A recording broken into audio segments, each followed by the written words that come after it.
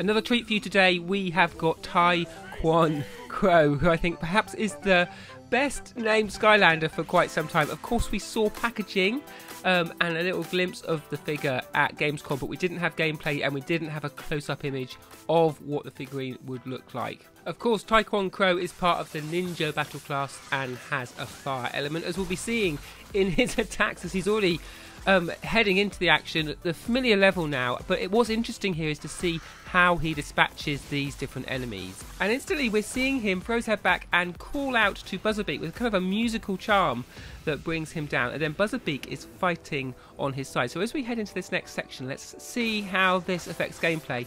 Certainly you've got those distant ranged attacks from your shuriken, but there you go, he calls down one. We do more than one. So we've got Buzzerbeak attacking enemies and Buzzerbeak sort of spins them round. Is it going to time out? He's still going, collecting stuff from the crate, um, blowing up the crate and is there in the background. He seems to have disappeared now, so again, we call him down. So it feels like the number of Buzzerbeak um, villain helpers you can have it when you start is one, but we'll keep an eye on that in the footage as we go forward, because no doubt you'll be able to power that up. You can see a lot of fire in the arena here as well, and that's from his roundhouse kick that kind of lights lights the floor in front of him and again causes additional damage and kind of acts a little bit like a shield against enemies getting too close. So certainly good for a ranged character like Tae Kwon Crow.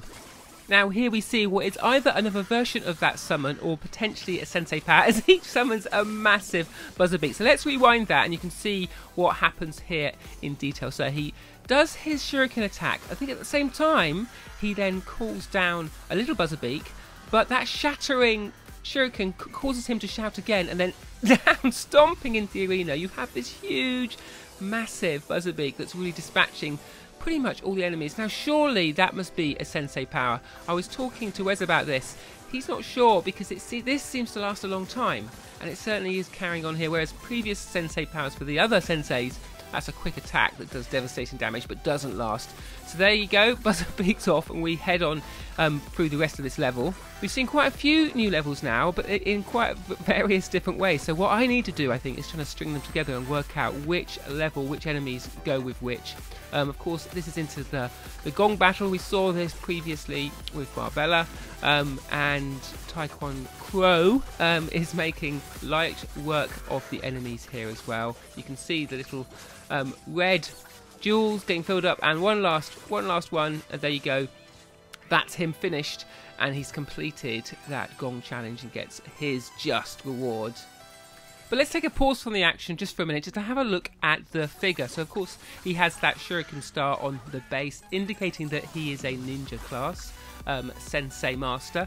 But you can see he has been through the wars. The, his beak is obviously, obviously been beaten up. He's got a few scratches there. And there's a real sense of action to his stance. Along with that, they were also kind of a focus on primary colours here, so the yellow and the blue and the red, and a lot of attention to detail. You can see the, the texture on his clothing there as we get in really close. So back on with some gameplay and this fire and ice level. Now I'd not seen this bit before, where the Skylander here is directing an ice cannon in front of him, and it seems like we need to trigger those different points of blocks. You see, as we're firing the ice into that fire, it's putting it out and then they're, moving out and in. So it's kind of like an ice cannon puzzle, which obviously is entirely appropriate for a fire and ice level. But a really nice touch there, and certainly opening up different sorts of gameplay. And talking of new, these enemies here I've not seen before. So let's get this rewound and have a closer look at them. So we'll back up the footage here, and you can see them falling down in kind of like circular ball form, and then popping out their wings. It's really cool. I like. Like the way they sort of come to life, Tae Kwon Crow is kind of making short work of them, so it's a little bit hard to see. But let's play that again. So watch closely here. One, two, three. And then the, the guy at the back popping out his wings, making an attack.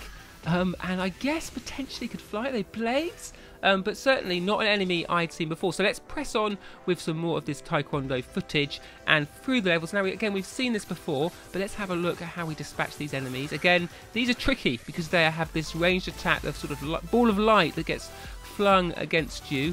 Um, and you can use sort of environmental hazards as well. we've got our little helper trotting along beside us, um, keeping them at bay. So that's a quite a nice tactic for Taekwon Crow.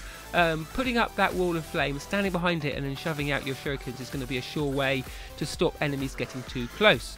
So back in our fire level, again, these enemies, I don't think I've seen them before, but certainly they've been around in this footage casting a spell of kind of explosion on me. Now I love these what they're like sort of chemical beakers with with um, tentacles that have come out. Let's rewind that and get a close look at them as we back up.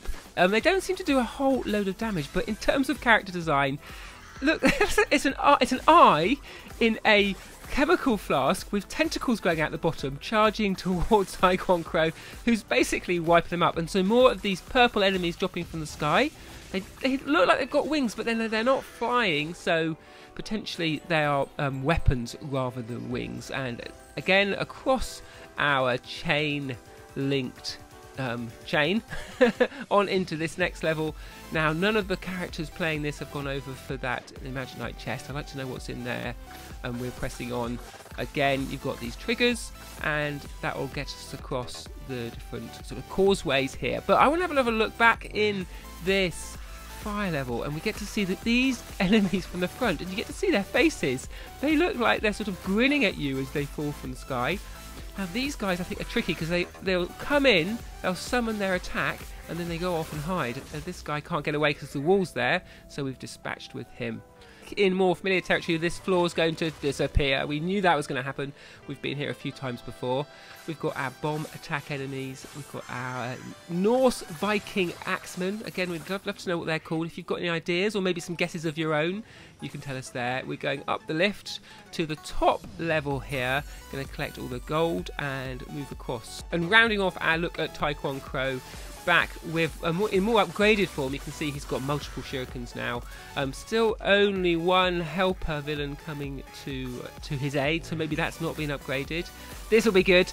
Those throwing out those shurikens and then coming back, almost like there's some some sort of yo-yo attack. I think is really good. One final treat for you before we go is a look at this massive buzzerbeak. Um, assistant. I mean, he completely rips up the level, so it's kind of you call him in, and it's kind of like job done. So I'm sure there must be some limits to how much you can and can't use it. So we'll get that rewound and you can have a look at it while I'm rounding off the video. But let us know, is, is Taekwon Crow going to be one of your favourite senseis to pull into Skylanders Imaginators and upgrade your created characters? Or are you looking for some others? We looked at Barbella um, earlier and I think there's a lot to choose from in this wave one. Also, have you spotted any levels or any enemies that we haven't spotted as we've gone through this footage? We'd love to, for you to point that out to us so we can go back and have a look ourselves. And also, if there are enemies we don't know the names of, how about having a guess? Do drop a comment down below because we'll be in there just as soon as this video goes live.